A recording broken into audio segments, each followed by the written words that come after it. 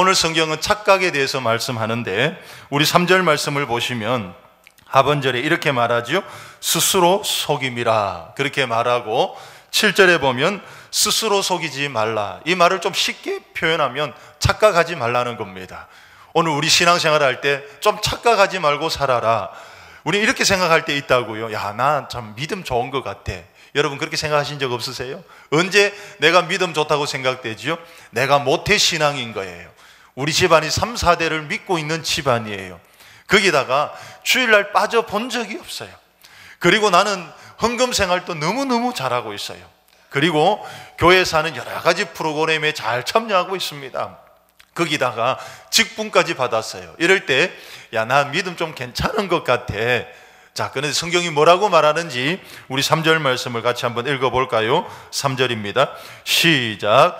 만일 누가 아무것도 되지 못하고 된 줄로 생각하면 스스로 속임이라. 성경은 이렇게 말합니다. 한번 다시 생각해 봐라. 속고 있는 거 아닌지 모른다. 착각일지 모른다라고 말하는 겁니다. 그러면 우리의 믿음이 어디서 드러나는 것일까요? 우리 1절 말씀입니다. 1절 말씀 읽어요. 시작. 형제들아 사람이 만을 무슨 범죄한 일이 드러나거든 신령한 너희는 온유한 심령으로 그러한 자를 바로잡고 너 자신을 살펴보아 너도 시험을 받을까 두려워하라. 자 형제 가운데 이제 무슨 범죄한 사람이 그 죄가 드러났어요.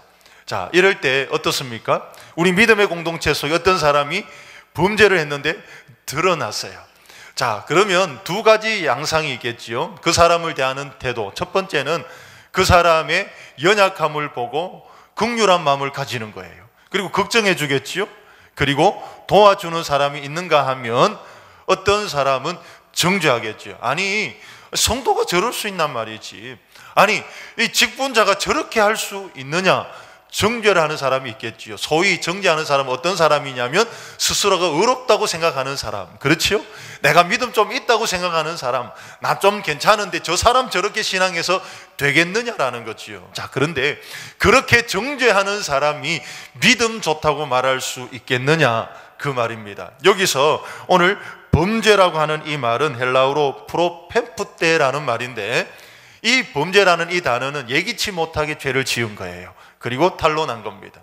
자, 다시 말하면 우리 믿음의 공동체 속에 예기치 못하게 어떤 사람이 죄를 지었습니다. 그리고 공개적으로 죄가 드러났어요. 이때 어떻게 대하느냐에 따라서 우리의 믿음이 드러나는 것입니다. 정죄할 수도 있고 그 사람을 도와줄 수도 있겠다는 것이죠. 그런데 정죄하는 그 사람이 진짜 믿음 있다고 말할 수 있겠느냐 그것입니다. 요한계시록 2장에 가면 우리 에베소 교회를 만납니다. 그 에베소라는 지역이 로마 제국의 4대 도시 중에 하나예요. 굉장히 큰 도시입니다. 그런데 거기는 아데미 신이라고 하는 아주 그 당시에 퍼져 있는 우상 숭배의 본거지. 거기다가 에베소는 황제 숭배를 잘하는 도시 그런 도시예요. 그런 도시에서 신앙생활 하는 거 쉬울까요? 어려울까요? 어렵겠지요. 그리고 이 에베소라는 지역에 이상한 사상이 밀려 들어오고 있어요. 그런데 성경에 보니까 이 에베소 교회는 잘 막았습니다. 진리를 잘 분별해서 잘 막았습니다. 요거까지는 좋은데 하나님께서 이 에베소 교회를 어떻게 책망하시느냐? 처음 사랑을 잃어버렸다. 그 다음에 하나님이 말씀하시는 아주 무서운 말씀, 네 촛대를 옮기리라. 촛대는 교회를 의미하거든요. 그러니까 사랑을 잃어버린 그 교회를 향해서 하나님께서 너 교회라고 말할 수 없다는 거예요. 교회는 진리와 사랑이 같이 가야 되는 거예요. 진리는 있는데 사랑이 없을 때 하나님이 분명히 말합니다. 교회라고 말할 수 있느냐? 왜요? 하나님은 사랑이시기 때문에 사랑이 없는 그 교회가 교회라고 말할 수 있느냐? 다시 말하면 사랑하지 않는 그 성도가 진짜 성도라고 말할 수 있느냐? 아니, 그 사랑하지 않는 그 성도가 믿음 있다고 말할 수 있겠느냐? 그것입니다. 그래서 혹시 착각하는 것 아니냐라고 성경은 말하는 거지요. 자, 그 다음에 오늘 주목해야 될 단어가 있습니다. 1절에 신령한 너희는 누구에게 말하는 거예요? 갈라디아 성도들에게 말하는 겁니다. 제가 볼 때는 갈라디아 성도들이 신령하지 않아요. 신령하지 않습니다. 그런데 성경에 바울은 신령하다고 이야기하는 거예요. 사실은 이 말은 갈라디아 성도들에게만 말하는 게 아니고 우리 모두에게 말하는 거예요. 내가 뭔가 노력해서 신령한 게 아니고 하나님께서 예수 그리스도를 통해서 죄 사함해 주시고 의의 옷을 입혀 주셨기 때문에 우리 모두는 신령한 줄 믿습니다. 그래서 우리를 향해서 성도라고 부르는 거예요. 이걸 다른 말로 하면 하나님의 엄청난 은혜를 입은 사람들, 너희들 신령하게 된 사람들이다. 이런 말이지요. 성경에 보면 1만 달란트 빚진 사람의 이야기가 나옵니다. 한 사람이 1만 달란트를 빚을 졌어요. 뭐 해서 그만큼 빚을 졌는지는 모르겠는데 빚을 졌습니다. 그랬더니 이 주인이 그 종을 불러가지고 너와 너 처와 네 자식들과 집에 있는 모든 것을 다 팔아가지고 빚을 갚아라. 이 사람이 막 메어 달리는 거죠. 아니, 제발 좀 용서해 주세요. 좀 봐주세요. 그렇게 했더니 이 주인이 너무 긍휼이 많아가지고 그 자리에서 1만 달란트 빚을 탕감해 줬어요. 그러면 이 1만 달란트가 얼마나 되는지 한번 우리가 이 계산을 한번 해봐야 되겠죠. 보통 노동자들이 하루를 벌어서 버는 그 단위가 1데나리온이라고 말하는 거예요.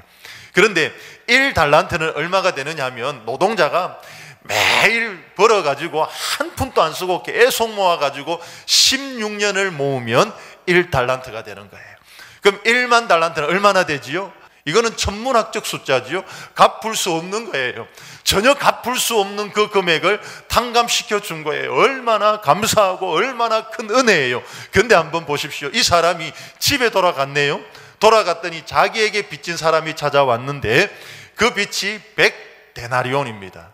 1만 달란트에 비하면 100데나리온은 상대가 안 되지요. 그런데 이 사람은 자기에게 100데나리온 빚진 그 사람을 돈 안 갚는다고 옥에 가두어 버린 거예요. 그렇다면 1만 달란트 탕감 받은 그 사람은 은혜를 아는 사람이에요? 모르는 사람이에요?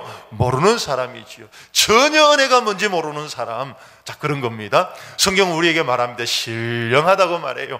거기에는 너희들 엄청난 은혜를 받았지 않느냐. 1만 달란트 빛을 탕감받은 사람이 아니냐라고 하면서 그런 사람이 우리 믿음의 지체 속에서 조그만한 것 잘못했다고 정죄한다면 은혜를 아는 사람 맞니? 너 정말 믿음 있는 사람 맞아? 너 사랑이 없는 그 사람이 정말 하나님의 그 무한하신 사랑과 은혜를 정말 체험하고 그것을 감사하고 거기에 대해서 느끼고 있는 사람 맞느냐라고 말하는 거예요. 그래서 너희들 믿음 좋다, 믿음 좋다고 하는데 그 믿음은 여러분 이론이 아닙니다. 믿음은 행함이에요. 다시 말하면 믿음이라는 것은 공감 능력이 좋아야 돼요. 그래서 우리 형제 자매가 아파하면 나도 아파하는 거예요. 저 사람이 잘못되면 나도 아파하는 거예요. 그래서 그 사람을 돌아볼 줄 아는 사람, 그 사람이 믿음 좋다고 말하는 거예요. 자, 그래서 이렇게 신령한 우리들은 어떻게 해야 되느냐? 너 자신을 살펴보아 너도 시험 받을까 두려워하라라는 겁니다. 너 자신도 좀 한번 조심해 봐라. 왠지 아세요? 우린 연약하거든요. 우리는 죄인이란 말이에요. 사실은 세상 속에는 두 부류의 죄인이 있습니다. 한 부류는 들킨 죄인, 또 하나는 안 들킨 죄인. 우리는 사실 안 들켰을 뿐이지 죄인이잖아요. 그런데 저 사람이 들켰다고 해서 정죄한다면 그 사람 믿음 있는 사람 맞니? 은혜를 아는 사람 맞아? 정말 1만 달란트 빛을 탕감받은 그 사람이라고 말할 수 있겠니라고 성경은 말하는 거예요. 그래서 우리에게 이야기합니다. 2절 말씀 같이 읽어 보십시다. 2절 시작. 너희가 짐을 서로 지라 그리하여 그리스도의 법을 성취하라. 그래서 어떻게 해야 되느냐? 서로 짐을 져 주는 거예요. 자, 그런데 오늘 성경 속에 보면 모순이 나타납니다. 어떤 모순이냐면 5절 말씀을 보십시오. 각각 자기의 짐을 질 것이라. 아니, 앞에서는 짐을 져주라 그러고 5절에 와서는 각각 자기 짐을 치라는 거예요. 이거 모순 아니냐는 거지요. 근데 모순 되지 않아요. 5절에 나오는 짐은 가벼운 짐이에요. 누구나 들 수 있는 것, 쉽게 들 수 있는 것, 이런 거는 자기가 지는 거예요. 근데 2절에 나오는 짐은 너무 무거운 짐이에요. 우리 형제 자매가 지금 죄를 지었습니다. 빠져나오지를 못해요. 그러면은 도와줘서 그 짐이 너무 무겁기 때문에 다시 한 번 더 하나님 앞에 바로 설 수 있도록 믿음의 자리로 돌아올 수 있도록 하나님 앞에 신실한 자리로 돌아올 수 있도록 너희들이 그 짐 좀 져주면 안 되겠느냐라고 말씀하고 있습니다. 바로 여기서 너의 믿음이 반가름 된다는 겁니다. 다시 말합니다. 여러분, 우리 믿음 믿음 말하는데 믿음은 정지되어 있는 것도 아니고 믿음은 이론이 아니에요. 믿음이라는 것은 동사입니다. 믿음이라는 것은 움직이는 겁니다. 믿음이라는 것은 실천되는 겁니다. 믿음이라는 것은 행동되어지는 거예요.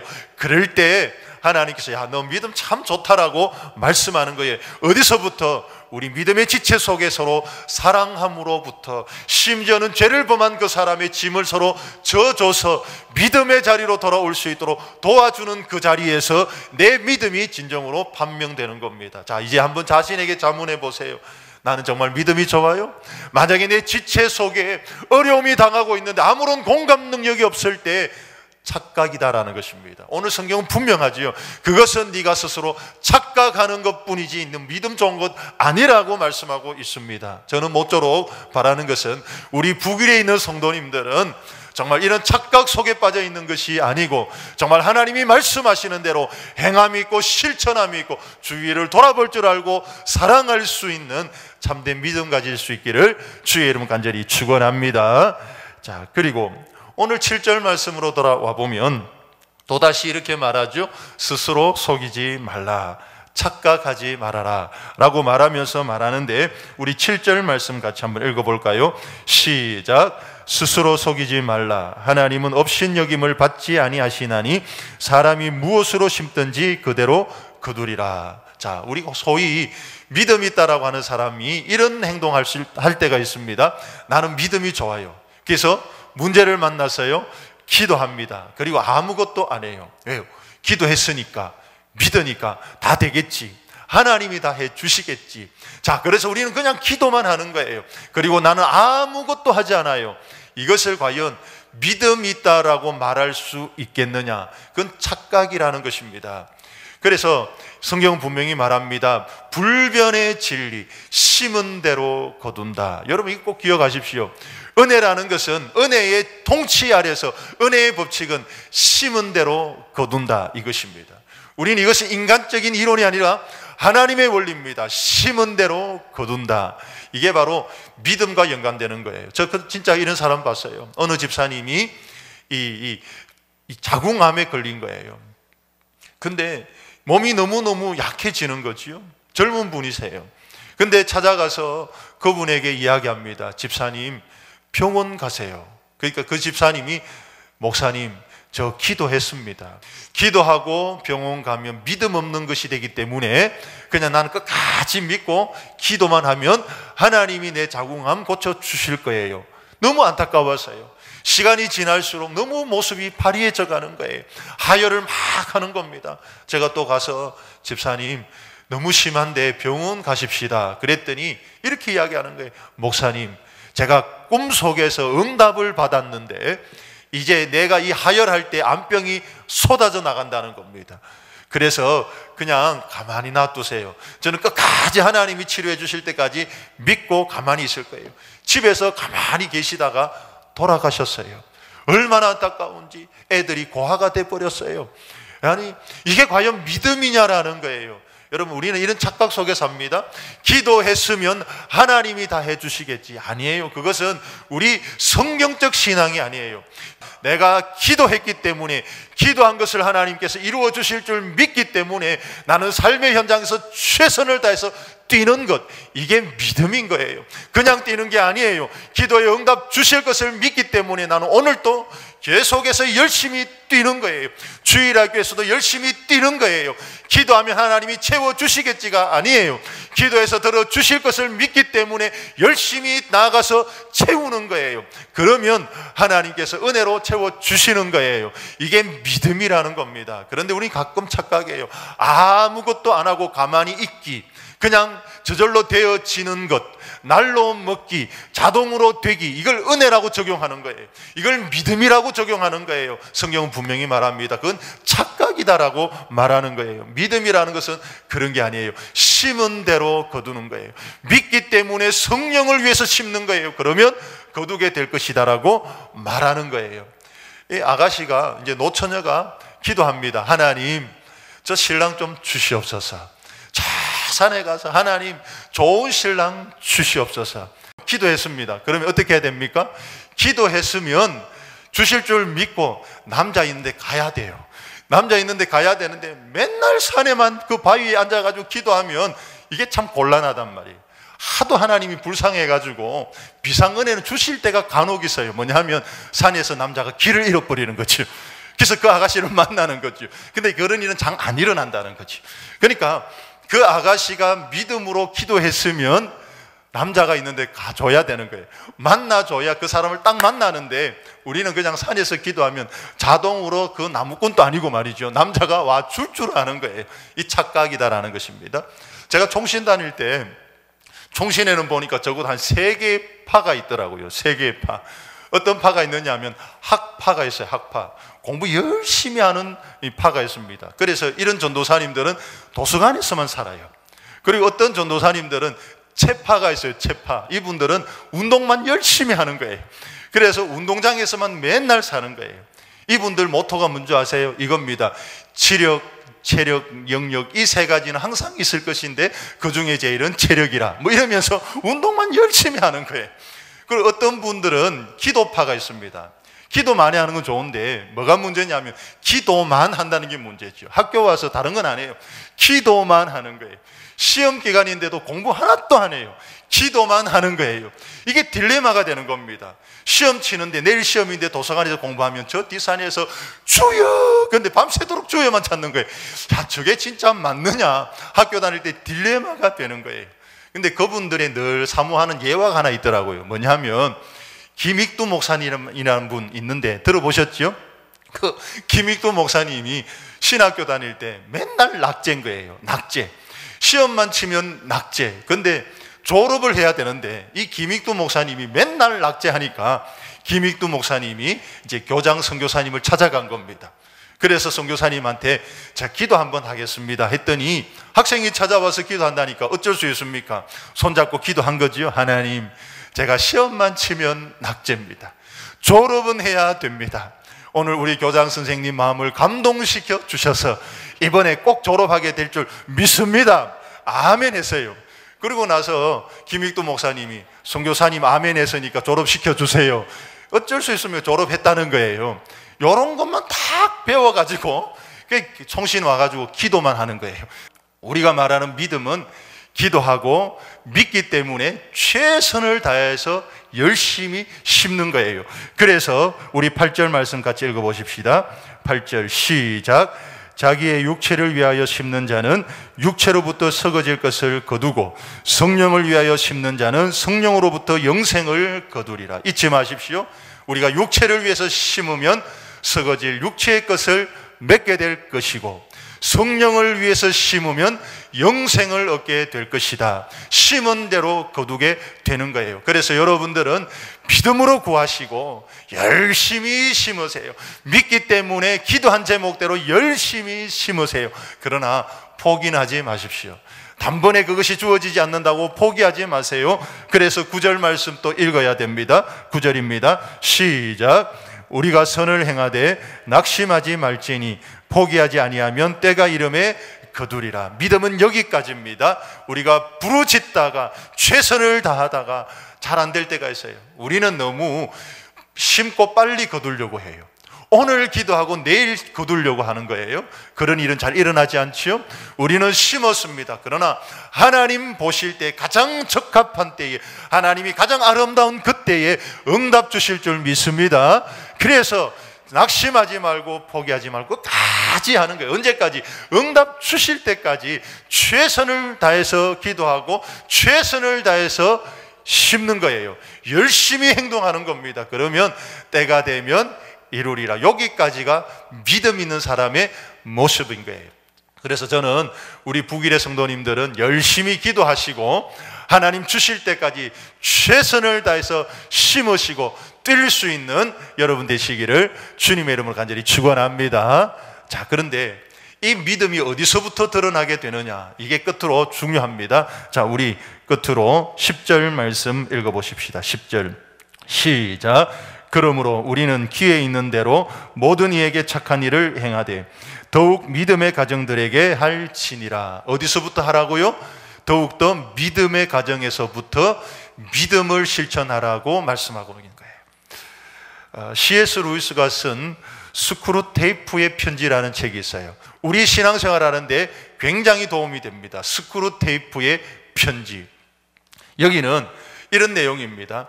차관급 악마, 스크루 테이프가 자기의 신참내기 조카 이 악마인 이 웜우드에게 편지를 보내는데 충고 편지 31 통 요게 스크루 테이프의 편지입니다.